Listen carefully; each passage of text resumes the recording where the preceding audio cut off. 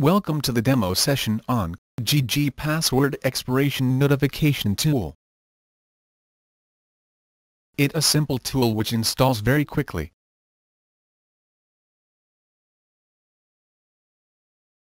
Now the installation is over. This is the notification policy page. Let's create our first notification policy. Here, you can create policies, either for password or account expiration. I need to create a notification policy for password expiration, hence I am selecting password. Next, I must select an AD scope, to be monitored for password expiration. You can select a OU, group or an user. You can also select multiple objects. Here, I select the OU. Then, I browse to select my custom OU.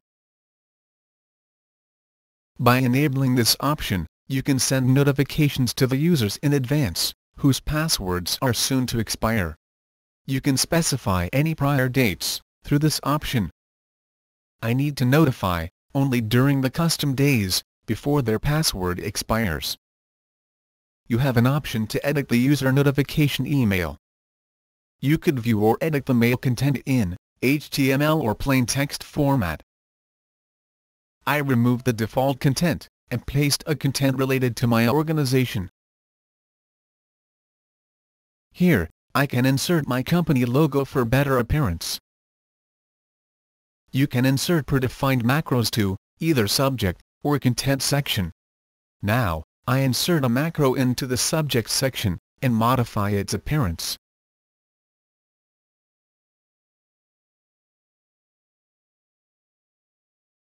This option is to notify the managers of the users, whose password are soon to expire. We identify the user manager automatically, by an AD attribute, manager in the expiring user account. You can also define a separate notification policy to issue notifications, just to the managers.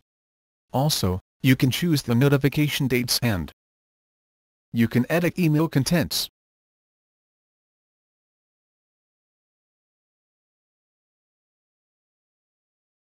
Using this option, you can send this policy summary report on password expiration to the email ID of admins.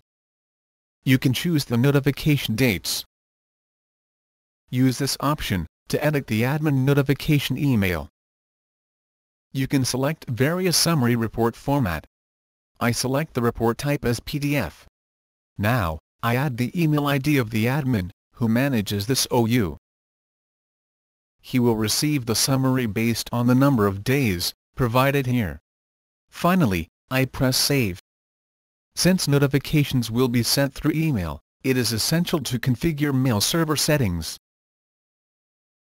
But, if you have an Exchange server in your environment, then, this tool will not prompt for mail configuration. Instead, at the back end, it will automatically perform mail configuration. This credential will be used to run this policy, through a scheduled task JiJi password expiration notification, from Windows Task Scheduler.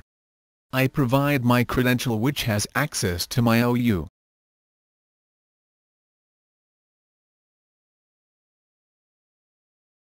Now, we have created our first notification policy for password expiration, which you can see in this list.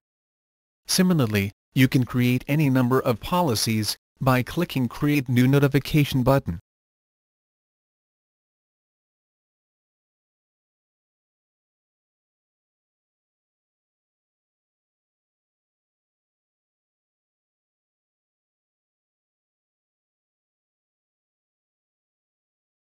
These policies would be picked up by the scheduled task, during the scheduled time or we can run it ad hoc from the tool. Before executing the policy, let us have a glance on the advanced settings. You can see mail server settings, which can be configured anytime from here. Here is the product settings. These conditions act as the checkpoints for filtering email notifications. So you have to enable them carefully. For example, if you enable this condition, you can command this tool to skip users, who are not having valid email ID in Active Directory. Using this setting, you can add or remove attributes to the expiration report. We will discuss about expiration report later in this session. Using this option, you can send the overall summary report of all notification policies to the specified email IDs. Administrator's email address will be a good choice here to look after all notification policies summary report. By enabling this setting, you can customize the summary report footer. This setting ignores sending the empty summary reports on a day's run. I save the setting changes. Now, we are all set to run the notification policy. For that, you have to just click Run Now. Before I run, I check the test run property. Enabling the test run property will send the summary report only to the email IDs specified in product settings, but will not notify users. We recommend to give a test run before it has been picked up by the schedule.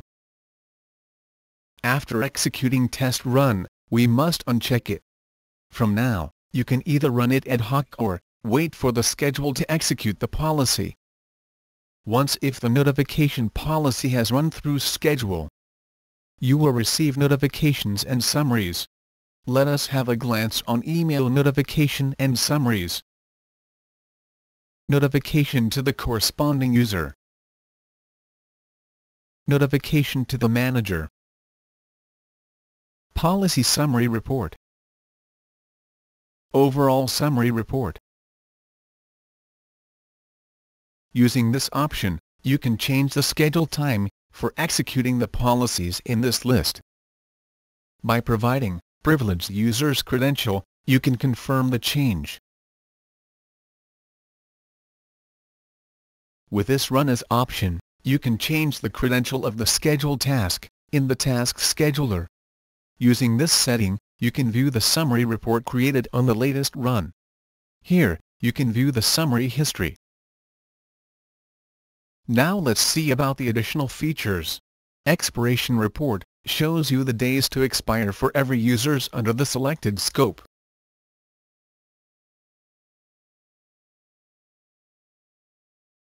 You can use this report to confirm the notification policy summary report. Here, you have additional options to customize the report. You can export this report in these file formats. This option is used to back up the configuration settings of notification policies, so that you can easily migrate the settings to any other computer. While working with this tool, if you need clarifications, just select Help menu, and navigate to Video Demo. Then you will be redirected online, to view this demo. Here, you can find the shortcuts for useful settings, in this quick launch. That's all about GPON tool. Thanks for watching. For queries feel free to contact us at support at jijitechnologies.com.